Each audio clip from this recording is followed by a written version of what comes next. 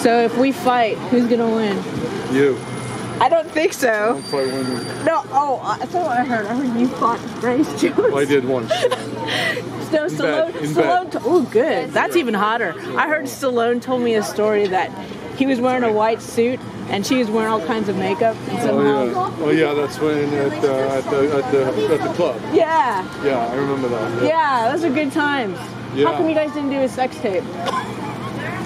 Well, I would pay for that. We didn't have the uh, technical equipment at the time. I know. I would have paid for that. Seventies, you know. I would have paid for that. That would be one of There's the. always Polaroids and things like that. But Is there still? shit scared at something again.